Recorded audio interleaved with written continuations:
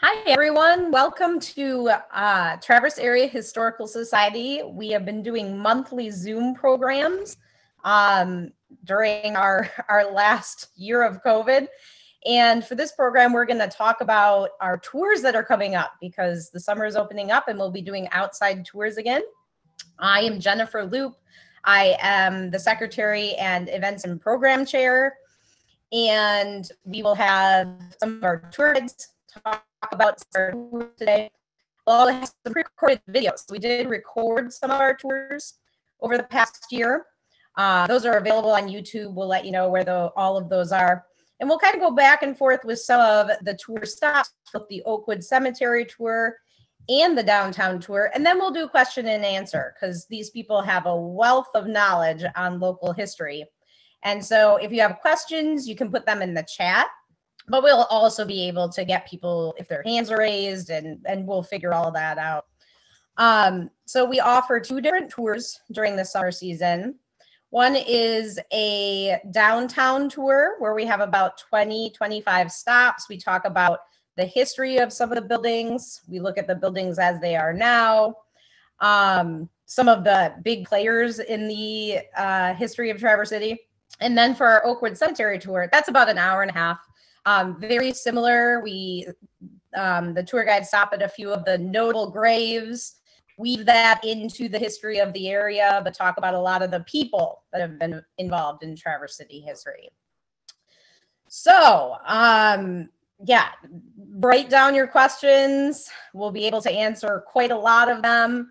Um, we're first going to start with a video from the recorded Oakwood Cemetery tours. And as long as I can get my tech right, we'll, be able to go.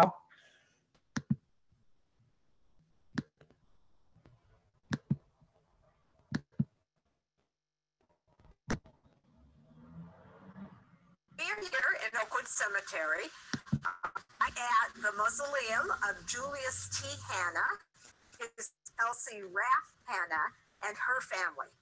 Julius, you may recognize his last name Hanna as he is the son of Perry Hanna, well known as the father of Traverse City.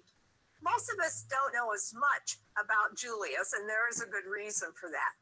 Julius was born in 1858 and died in 1905, just one year after his famous father passed away.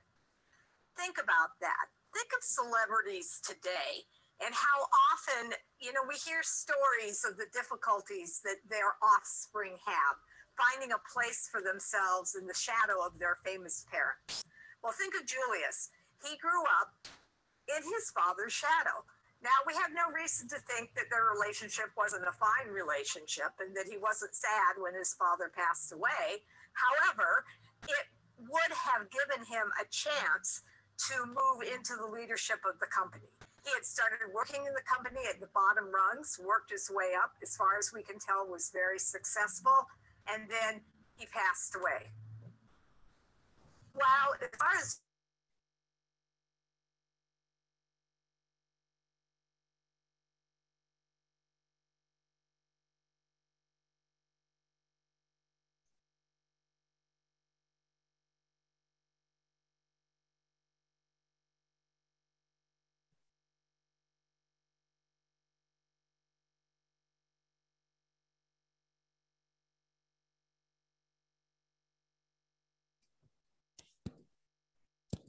You want to try one of those uh, things? Is this muting me?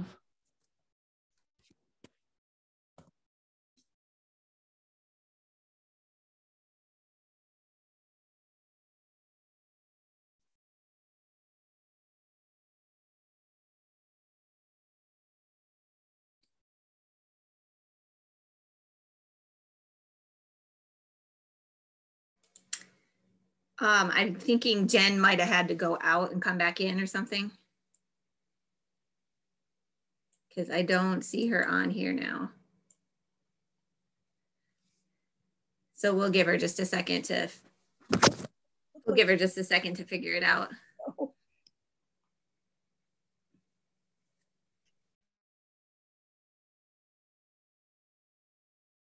And she did run the video partway through before we started, but not all the way through. So not sure what happened.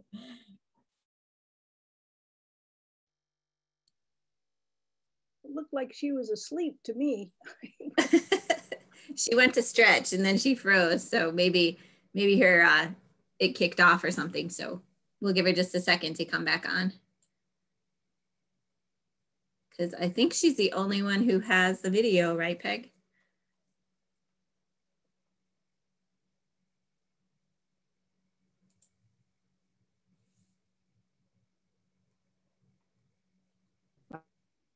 I could pull it up and I will work on that in case she has disappeared. Okay. It'll take me a minute. Okay.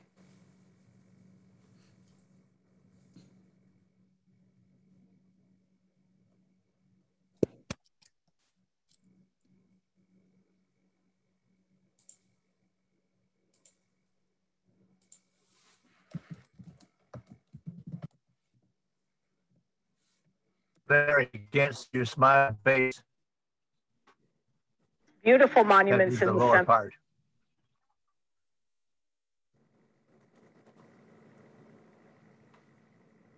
and died in 1905, just one year after his famous father passed away. Think about that. Think of celebrity.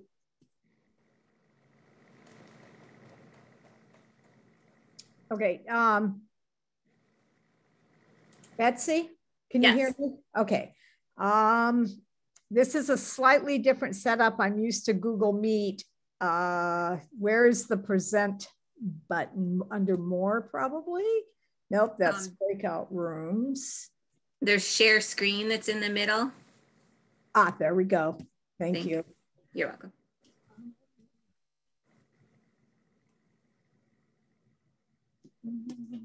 This is- Okay, this is what happened. I have to switch computers. So uh-huh. if everybody can just, actually, I could tell you all the information. You just wouldn't be able to see anything but my face, which isn't all that interested. So give me just a minute. All you people who so nicely stayed inside during this wonderful weather. Let's see. Register.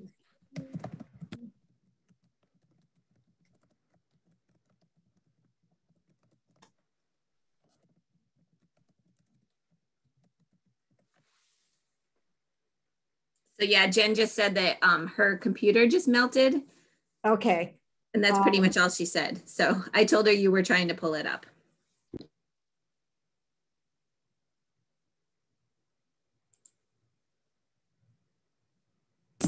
I'm on my other computer.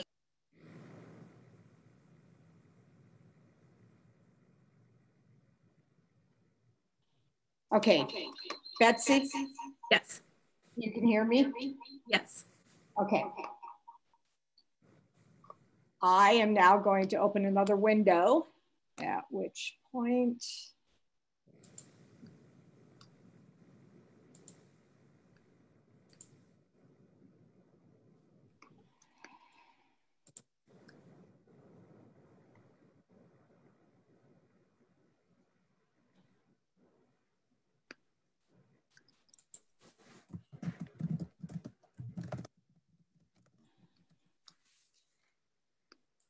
So Jen said something about her.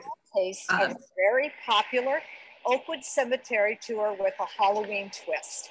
Because of the COVID pandemic, we will not be offering these tours this year, but we certainly hope to see you next year.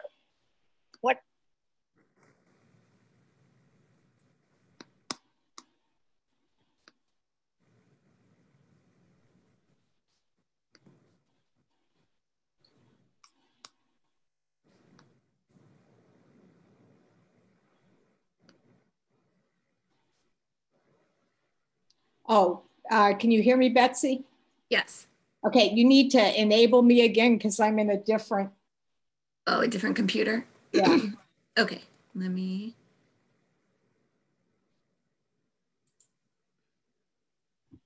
Okay, there you go. Okay. Hmm. There you go. Can you see it, people? Yep. Okay. Now, if I can just get to it and start it running. We are here in Oakwood Cemetery, uh, right at the mausoleum of Julius T. Hanna, his wife Elsie Raff Hanna, and her family. Julius, you may recognize his last name Hanna as he is the son of Perry Hanna, well known as the father of Traverse City. Most of us don't know as much about Julius, and there is a good reason for that. Julius was born in 1858 and died in 1905, just one year after his famous father passed away. Think about that. Think of celebrities today and how often, you know, we hear stories of the difficulties that their offspring have finding a place for themselves in the shadow of their famous parents. Well, think of Julius. He grew up in his father's shadow. Now, we have no reason to think that their relationship wasn't a fine relationship and that he wasn't sad when his father passed away. However, it would have given him a chance to move into the leadership of the company.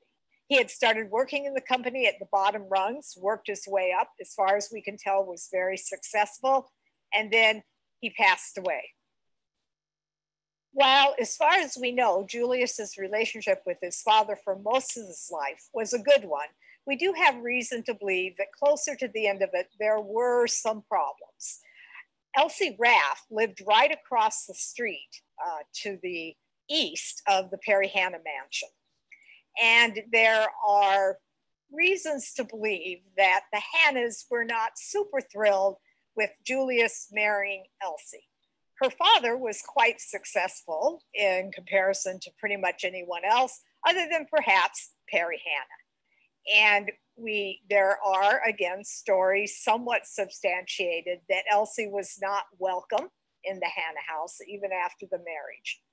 Now, perhaps a proof of that or something that would make us think that could be true is the fact that the Perry Hanna family plant, plot is on the southwest corner of Oakwood Cemetery. The mausoleum here of Julius is more on the where we northeast corner, not quite as far apart as it could possibly be, but close to it. So that does sort of lead to the possibility that there was some tension there towards the end of Perry Hanna's life. Uh, speaking of houses and the fact that the Rath and the Hanna house were right across the street from each other, this does bring up another Halloween with a twist story that we're offering in these uh, videos that we're giving, whether you watch them Halloween or not. And it brings up a house I had a personal experience with in the Boardman neighborhood. There's a uh, relatively new uh, cottage type house sitting on a corner in that neighborhood. I always thought it was very beautiful. When I first moved to town in the mid 1980s, it was an empty lot. At some point, this house was built. It was of aesthetic architecture that I really like, so I paid a lot of attention to it. And it seemed to be turning over every two or three years, there'd be a for sale sign, and someone else would buy it. And then two or three years later, it would be back up for sale again. Seemed odd to me because the location was gorgeous, the house was beautiful and then when I was working as the archivist, one evening, a couple came in and they started asking me about information I might have on a house in Boardman neighborhood. And it turned out it was the same house that I had noticed over the years. As we talked further, they eventually got comfortable with me and they revealed that they were thinking of purchasing it because they had heard it was haunted and they were the kind of couple that that was actually something that was attractive to them. They wanted to move into a haunted house. So I started doing some research trying to figure out if there was any, you know, substance to this. And I looked back through the newspapers and the records and I found out that what had sat on that lot before it was torn down was a grocery store and it had apartments above it. Now, I didn't find anything about the grocery store being haunted. However, when I looked into the tenants of the apartments. For several years, there was a man who lived up there, and his name was Fred Deadman. Deadman. No story of any hauntings or, uh, you know, untoward doings going on up there, but I must admit the name Deadman did catch my attention given the uh, questions that were being asked. Okay, can people hear me now? Yeah, okay, my screen is, oh, Jenny is back. Jenny can, um, if anyone has any questions about um, Perry Hanna or uh, his son, that whole uh, involvement with the Raff family, etc., or the burials in Oakwood, either Larry Haynes or I could answer. So, Jenny, do you want to? How do you want people to ask if they have something to add or say? Um, there is a question in the chat. Thanks for handling that. On my end, my computer froze and would not turn off. It like melted down. It was saying the same thing for like two minutes. So you're lucky you didn't hear it. Um, someone asked, where is that house located? And then I'm going to look for hands raised.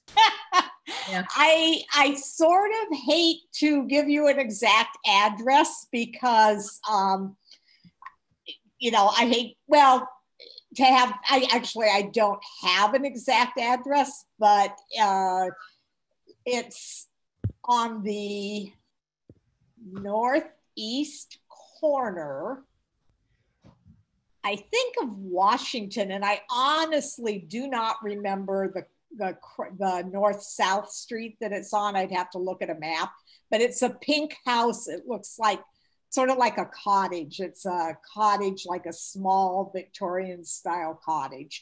And honestly, um, I ride my bike around there all the time, and it has not turned hands for a long time. So, for all I know, there was something wrong with the plumbing.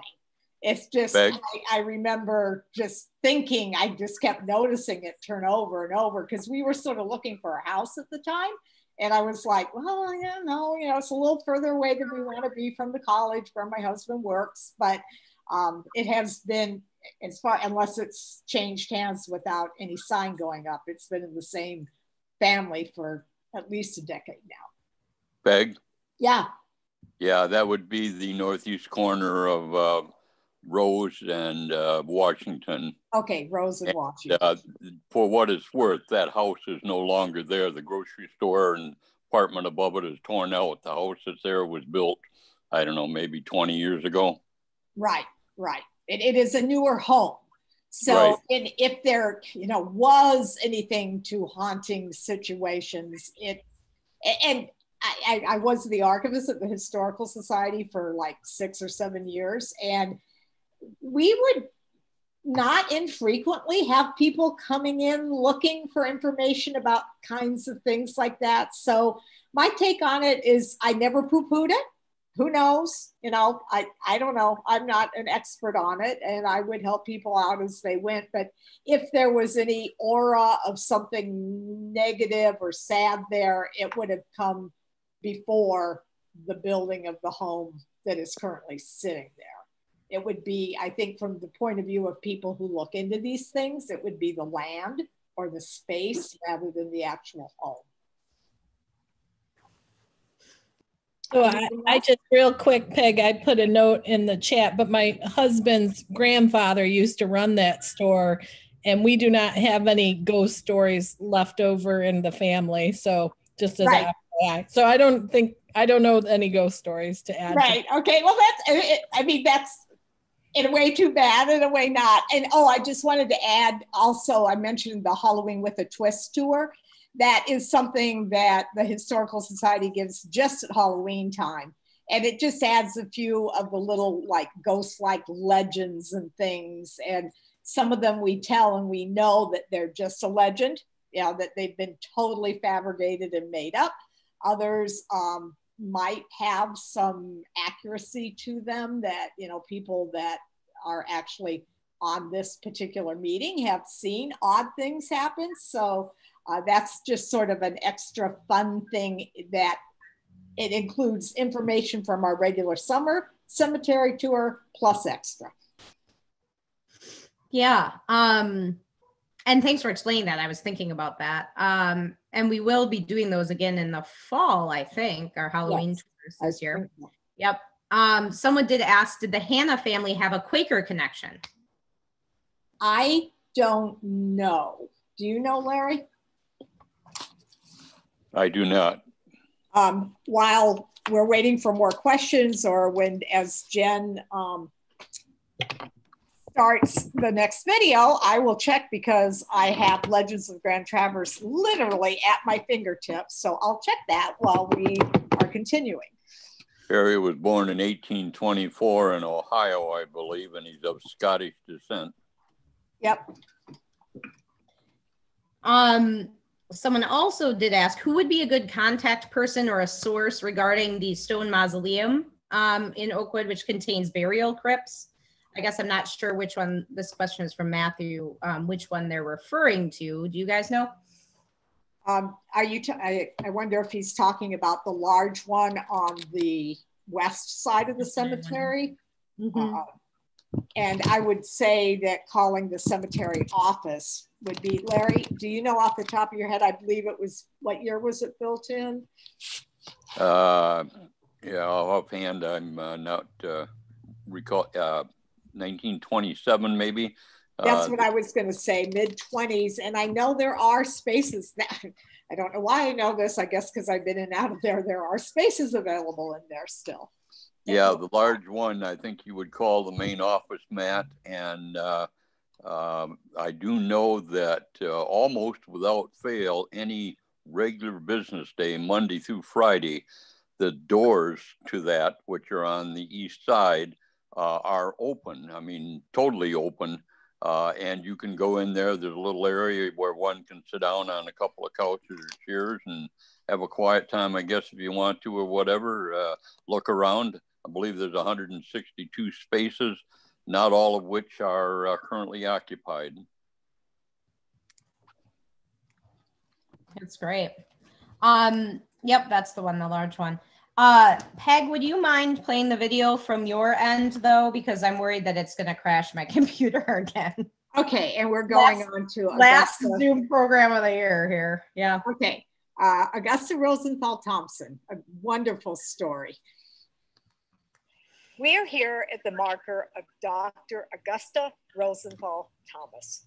Her story is one of groundbreaking success, heartbreak, and ultimately heart touching providence, or perhaps, if you wish to look at it this way, supernatural karma. Dr. Augusta Rosenthal was born in Indiana in 1859. She would become one of the first women to graduate from the University of Michigan School of Medicine and one of the first women in the United States or the world to become a doctor. In the late 1870s or early 1880s, she came to Northern Michigan to Traverse City as the first female physician in this area. In 1889, she had her only child, Jackie, who unfortunately passed away in 1896 at the age of six. So she's had her groundbreaking success and now the heartbreak. She had married another doctor. So she and her husband lived on State Street in a, a house that has now been uh, renovated and redone and is in gorgeous shape. However, their marriage did not survive the death of their son, Jackie. Jackie died from diphtheria. And after his death, Dr. Rosenthal Thomas, Augusta, decided to go to Europe because that was where the major research on in pediatric medicine was being done.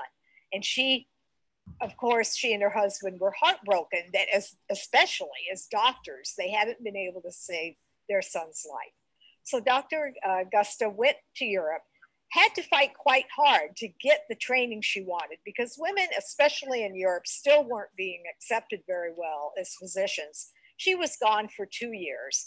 And when she came back to the United States, her husband sued for divorce based on desertion, and they were divorced. But this is where the providence or perhaps the karma of the story comes in. When, Augusta, when Dr. Rosenthal Thompson arrived back, in Traverse City. There was a couple there to meet her at the station, friends of hers. Their young son was near death, death from diphtheria, the same disease that had killed Augusta's own son. Because of the training she had received in Europe during those two years, she was able to go to their son and save his life.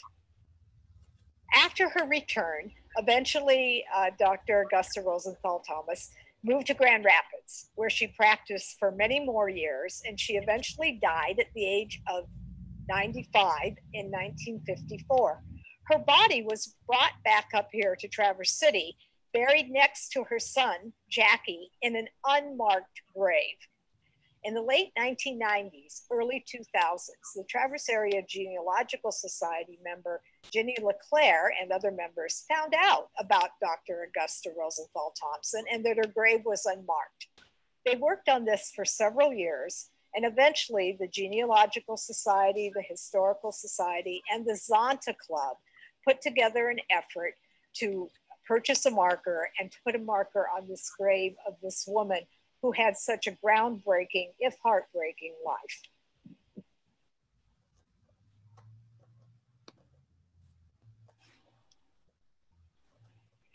Hi, my name is Peg Siciliano. okay, that's that. Yeah, so I'm looking for questions in the chat. Peg, did you mention kind of a few of the other things you talk about on the Oakwood tour? Or the other people or players or any of that? Um, have not started yet. Okay. Um, you want me to do that now? Sure. Or Larry, you Larry his his computer tips up, mm-hmm. so sometimes it's hard to see him. Okay, um, when we do the Oakwood tour, the regular one and also the the Halloween one, we talk a lot about the um, statuary the symbolism of cemeteries, uh, how they developed. We talk about a lot of very uh, interesting characters, uh, either important or interesting characters from the history of Traverse City. We talk about Wild Bill Germain, who was a gentleman who apparently had a very extroverted personality, somewhat of a temper, but also very charismatic who was the mayor of Traverse City at one point. And uh, we talk about his somewhat checkered uh, life, uh, some real ups and some real downs. We talk about the various veterans areas in the cemetery. There's a Spanish American War plot, there's a Civil War plot, um, there's a general military, um, what is the organization, Larry, that does the, the larger monument for the is it Veterans of Foreign War? Uh, I don't. American Legion, uh. Legion. Yeah, where the um, where the monolith is. I, anyway, we go to all those places. Uh, we talk about the first person who was born on the shores of West Bay in the middle of a blizzard. Actually, was the first person, first white settler ever born, not obviously not Native American, but white settler that was born within what is within now the uh, boundaries of Traverse City. The oldest person born in the cemetery. Um, lots of interesting facts. We do not cover the entire cemetery. So often, what will happen is given the age or the cemetery opened in the 18 late 1860s we tend to cover the earlier people in there. So sometimes we'll have people on the tours that'll be like, well, you know, are we going to go to the area where my grandparents are buried? And often we don't at this point, although we'd love to expand the tour.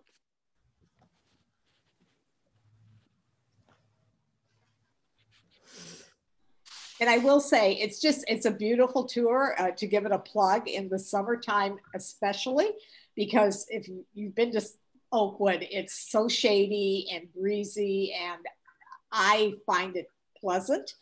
And it's just a great way to spend an hour and a half or so during the summer. Sometimes it can get rainy and windy during the Halloween tour and cold. that adds to the ambiance. Yes, it does. Um, Larry and Larry does a lot of the the cemetery tours. Do you have anything you'd like to add about maybe your favorite things to talk about, or um, you know, kind of your experience as a tour guide? Uh, nothing uh, really uh, spectacular. I mean, it's an interesting tour. I enjoy uh, every time I give it. Uh, I particularly enjoy uh, when we get people that come along and they have relation, you know, that are in there and they can add something to it. Although I tell folks it's supposed to be an hour and a half tour, but and I'm not going to have, answer every question you have. Otherwise, it'll be a three and a half hour tour. Uh, so sometimes we have to skip along and, and move along.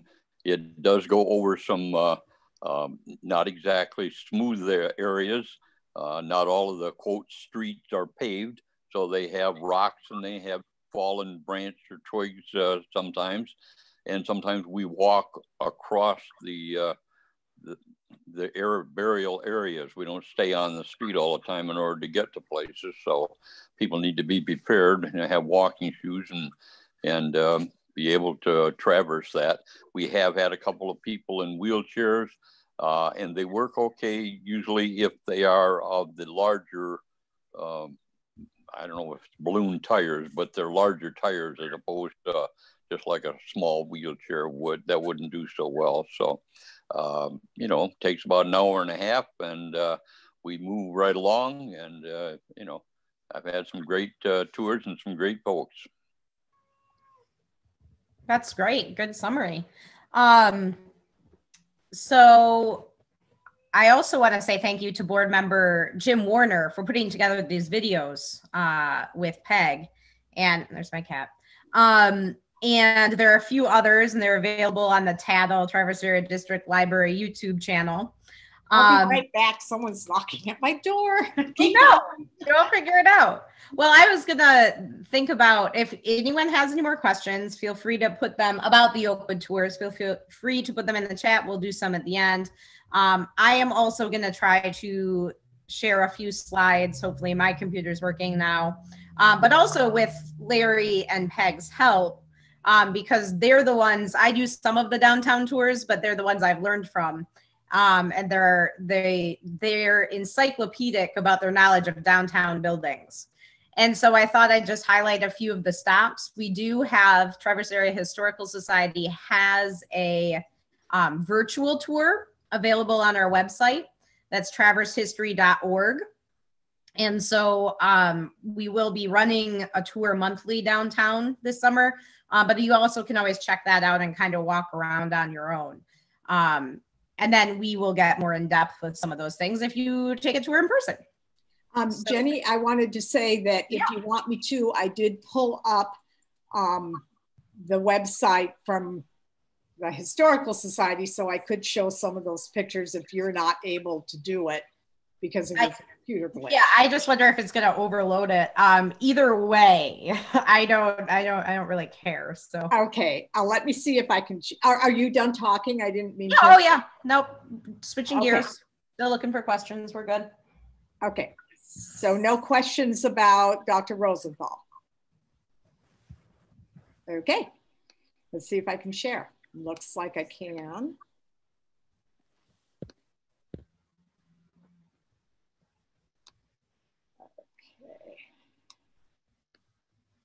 So can you see my screen? The pictures aren't perfect, but they'll get us there. Mm-hmm. So uh, what I'm gonna, Jenny had this a little better organized when we thought we were using her computer, but I'll, I'll wing it here. Uh, when we do the downtown tour, we don't get all the way down to the bayfront, but we usually stop on the corner of Union and Front Street and, and look, or Union and Cass and Union Front, and look down at the bay from there. And this, as it says, is a waterfront view from the 1870s. It's looking west, basically where uh, Grand Traverse, where the Parkway runs now, more or less. It, obviously, it was a railroad track at that point. So Traverse City is on your left. Um, the mouth of the river is in this picture further east than it would be today when Grandview Parkway was built. The, the mouth of the river was actually shifted to the west. So where you see the river coming out there is sort of like where the west parking lot of the Holiday Inn is today. And as you can see, totally industrial, as was the north end of Boardman Lake uh, up in, into the 20th century. So we tell the story of how that transformed and who transformed it and why it was transformed. Um, we were talking about Perry Hannah, and this is the Hannah sawmill. We don't walk right by this spot, but you can see it from Front Street looking down. And this, can you see that my arrow moving on here? Mm-hmm. Okay, this this tower here that's sort of obscured by smoke was at it was a sawdust burner. If I got that right, Larry. Shaking yes. yes. Okay, thank you. It was a sawdust burner for the mills, and it was right at the north end of Cass Street, is where it basically where it sat. And this is the Hannah Lay Mill. Uh, the Boardman River is right in front of us there, so we're looking northeast in this picture. And this is more or less where those new condominiums were just built on the north side of Boardman River with Union Street, Street running on the far side of the pictures, or maybe it's in the middle of the picture. So obviously we have changed significantly. Um, I want, to I'm skipping through some of the things we obviously, we talk about the Opera House and the Bohemian families that were behind that when we do the tour downtown, we do talk about a lot of the architecture. So this is the Greenhouse Cafe that has, we, I think it is original sort of Art Deco looking uh, front to it. Here's a connection to Perry Hanna. The Fifth Third Bank started out as the Traverse City State Bank in 1904 early 1900s. The bank actually started in the Mercantile Building. So the Hannah Lay Mercantile Building is on the northeast corner of Front and Union, being turned into condos. That sounds like I'm repeating myself a lot about condominiums in Traverse City. Um, and the bank, Traverse City State Bank, started out by Perry Hannah as a bank to handle the finances of the Hannah and Lay Company. And then in night, so it was within the mercantile building. Then in 1904, the Fifth Third Bank was built in 1904. And then through that, I joke that you can sort of tell when people move to Traverse City or if they were born here by what they think of the name of this bank being. It was Pacesetter in the 70s, I believe, and then it, it became Fifth Third, and it seems like I'm missing one. There, I think there's Kent. Old Kent. Oh, Kent. Oh my gosh, that's what it was. I moved to. Yeah, yeah, so you could, so it went Traverse City State Bank, Pacesetter, Old Kent, Fifth Third. Um, and there, and the tower has been changed on that, the clock tower. Um, I'm not sure. Yeah, it's a little bit different in this picture. They had a fire up there. Oh, is that why they changed it? Yeah. Ah, I see. I've learned something today. Great. I can add that onto the tour when I do it. Uh, more things we talk about is why the building on the corner of this is the southwest corner of Union and Front, why it's now two stories instead of five stories. Same building, but it doesn't look the same. And of course, here's the Lay Mercantile. And I think this is a great comparison of how the building, you know, you can still tell it's the same building, but it does look very different. And I love the picture on the top because you can see the wooden sidewalks. The street is still mud which is one way we can date photographs because we know what year this part of Front Street was paved. I believe it was 1902. So if the street isn't paved yet, we know, we might know for other reasons too, but we know for sure it's got to be before 1902 or else the street would be paved. Yes? Yeah, you know how technically I am, so. Yes, am I a year I, off? I'm. I would just point out it's not quite the same building. The top one is the original six bays, whereas the bottom one is after the 1941 fire where they lost the eastern two bays. And so it's not quite as long. And Right. uh, interesting fact about that with the fire in the uh, in the uh, b- uh, bank building tower, there has been a fire in every building on that those four corners. Interesting. And I, in my own defense, I will say I was going to point that out, but Larry beat me to it.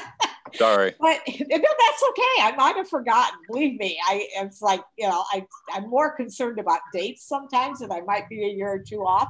But I had never thought about that. You're absolutely right. Every single building on that corner has had a fire in it. Um, The Masonic building was 87, I believe. And Yep.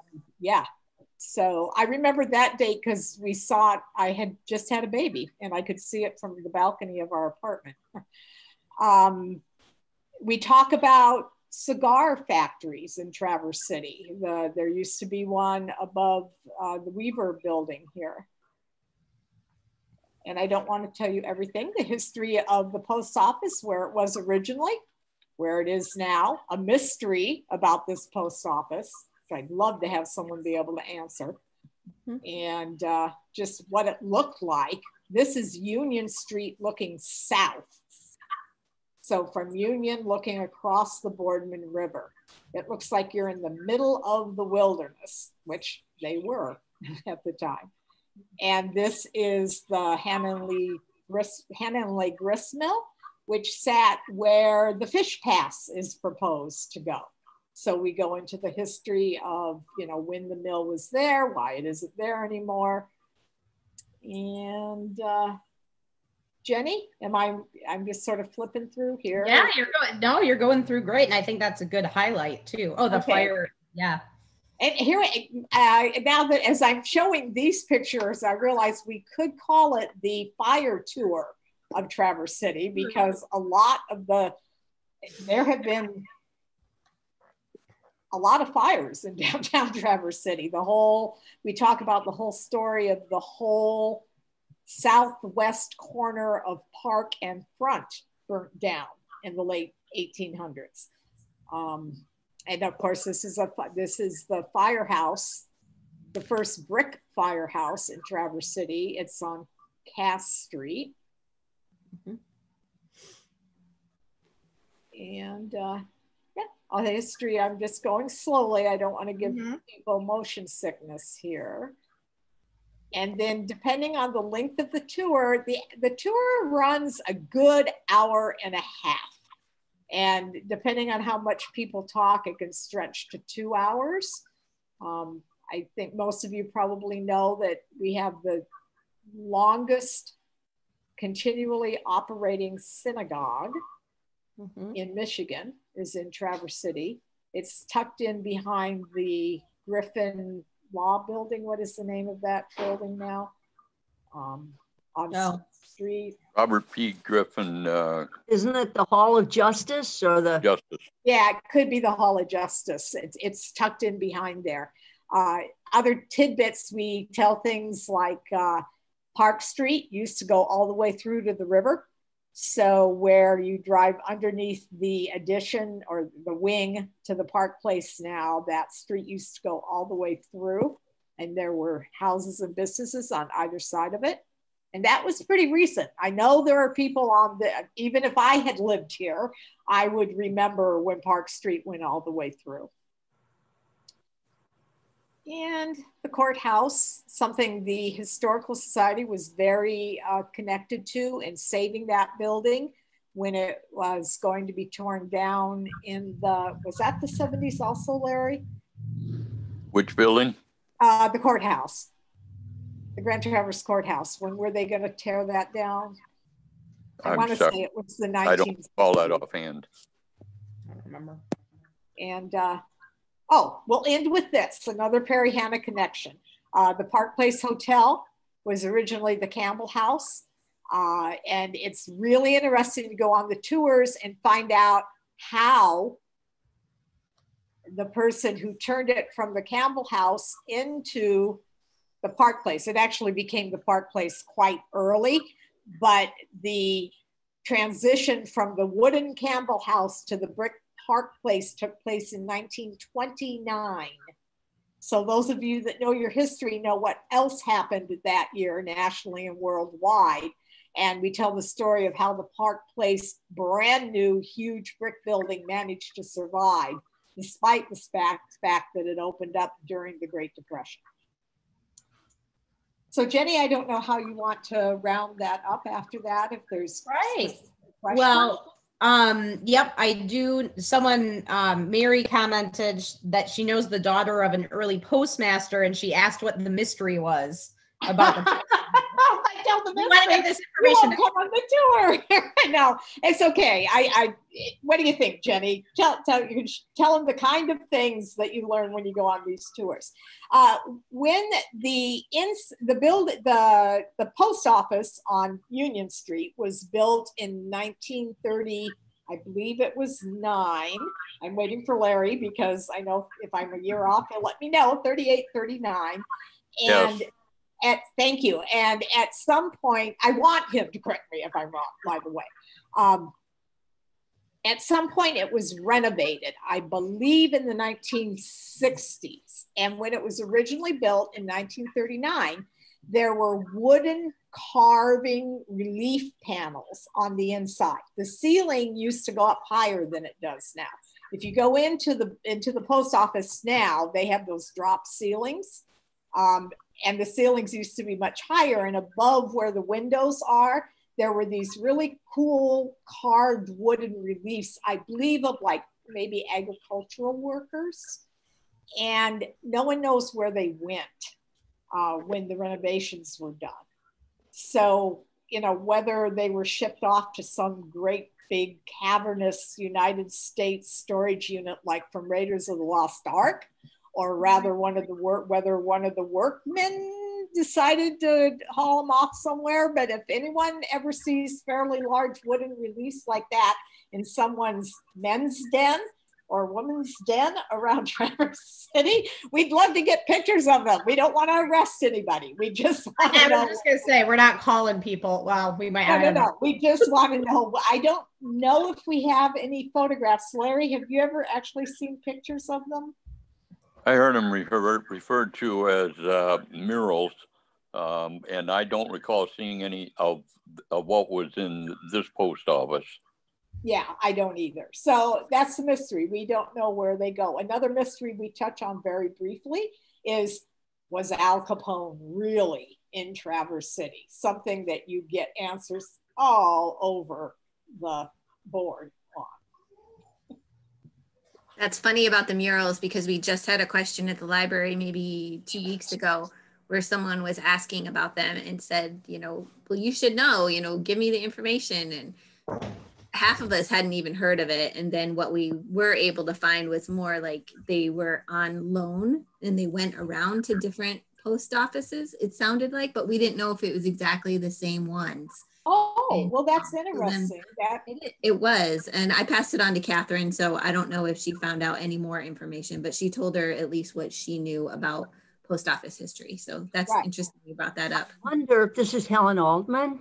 yeah. Yeah, and I'm I wonder if if they were murals, if by any chance they could have been painted by Ezra Winter, who was a Traverse City native who went on to great, great fame as a mural painter. He studied in Rome at the American Academy in Rome, and I think he graduated high school around 1905, somewhere Right. 1902, 35. Anyway, and his murals are in Radio City Music Hall. They're in one of the buildings of the Library of Congress of Canterbury Tales. And uh, anyway, but he is Ezra Winter. I think he was born in 1849. Is it winter like a season, like winter, summer, fall? yeah, like, like the season. Okay, great. Because if I had known that, I had forgotten it, and that would be a great article to Yeah, write about. it is. And uh, Uh, he was, And he I think, oh, no, go ahead. oh, I finish what you were saying. Uh, no, I'm, I'm just, I don't know. I don't know the year he died, but he was highly esteemed. I mean, obviously, and I've seen the murals, of course, at Radio City Music Hall. They're huge. They're huge. They go up the grand stairs of the garden or the paradise and at the Library of Congress. They're on the fifth floor and of one of the Adams building, and they are all around the whole uh, uh, frieze of that of the huge room that they're in, and they they portray the Can- Chaucer's Canterbury Tales. Yeah, I think, and I all I don't know that I've ever seen anything in writing. Everything I've heard about this is hearsay.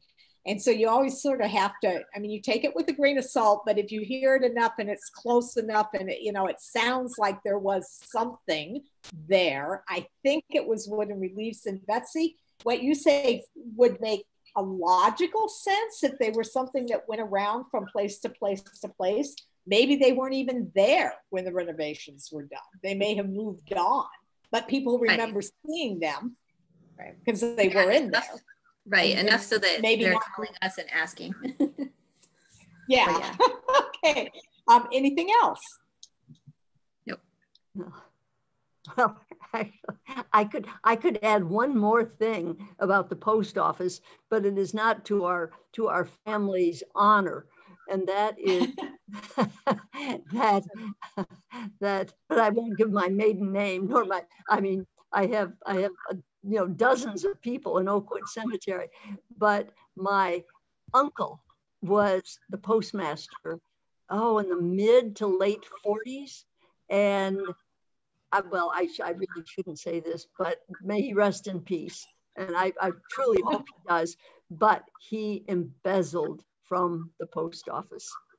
And of course, oh no, ended that, you know, his highly respected position there. I mean, he was not sent, he was not sent, he paid it back. He was not sent away or anything, but um, it was only whispered in between, you know, my mother and, you know, among, among we close family members.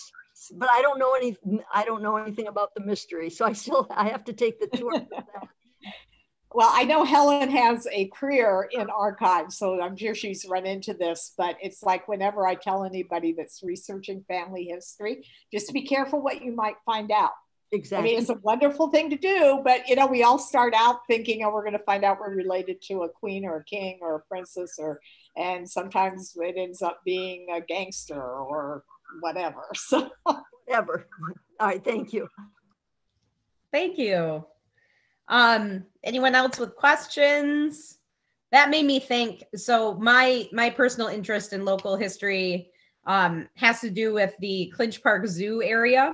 Um, and it, one of these things that I need to research as I'm putting together more stuff about the zoo is every there there are a lot of people that are sure that there was a moose there, but there is no evidence that there was ever actually a moose. And so like the little things that you hear about and you like want to get down to the bottom of. There were elk, but there's like no photos of a moose and they're very hard to keep in captivity. So that's one I want to know about. Perhaps when someone saw some moose down there, it was the local order of moose that were meeting there. yeah. Oh, and then I have there was definitely a moose. I gotta I gotta get get this all compiled here. Um so um 1940s that helps me though. I actually have a lot of the old zoo records and you know what animals were there and when and all of this hoping to do something about this. But it's the crowdsourcing where you get some of these stories. Mm-hmm. Um and I, I I'll just add in there my my kids laugh at me because I, I'm an only child and I have very few cousins. And if I live long enough, eventually I will be the only source of oral history on my branch of the family. And whatever I say will be the best they can get. Not that I would lie on purpose, but you know, oral histories are incredibly important but you all if you're using them for definite his you know for serious historical research you always want to try and back them up with a secondary source or something because even i mean i'm in my 60s and my husband and i'll be like you know remember that trip we took with the kids in 1994 and i'll be like well it was in july and he'll be no it was in november no, I'm sure it was July. And that was only 30 years ago. So, yeah. yeah. Get more photographs. Well, that's great. Anything you'd like to add, Peg or Larry? I will tell everyone the dates of the tours that we have. We'll have that up on our website again, traversehistory.org. Um, we're going to do the downtown tours the last Saturday of every month, June through September. And we are going to do those at 10 in the morning. So hopefully it's not super warm. Uh, that would be June 26th, July 24th, August 28th, and September 25th. And then for our Oakwood Cemetery tours, that will be twice a month, um, the second and the fourth Sunday of every month, meeting at 4 p.m. And that's June through September. So we have June 13th, 27th, July 11th, 25th, August 8th, 22nd, and September 12th and the 26th.